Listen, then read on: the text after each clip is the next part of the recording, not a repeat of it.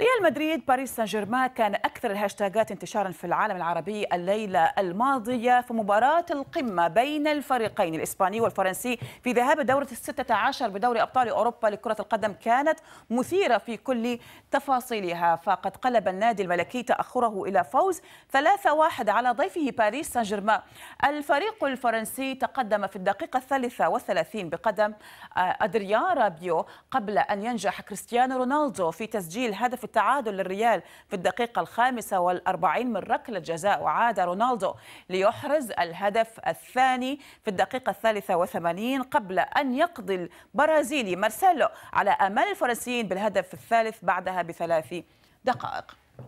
المغردون عشاق كرة القدم اهتموا أيضا ببعض التفاصيل الصغيرة في المباراة. من بينها هذه اللقطة للحظة التي يسدد فيها رونالدو ركلة الجزاء فمع إعادة اللقطة وتقريب الصورة يعني يتبين أن نقطة الجزاء أو المنطقة التي فيها جزاء قد تحركت بعض الشيء لحظة تسديد رونالدو للكرة.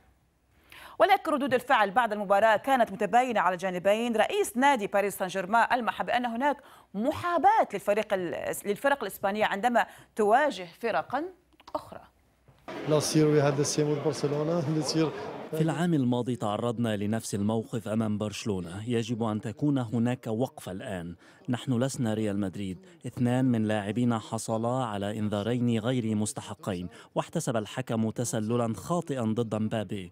أنا لا أقول أننا خسرنا بسبب الحكم، ولكن هذه الأخطاء تساعد فرقا كبيرا مثل ريال مدريد. اللاعبون يشعرون أن الحكام منحازون لريال مدريد ويخشون الالتحام بلاعب الريال خشية الحصول على إنذارات. وهذا ليس امرا جيدا للكرة الأوروبية.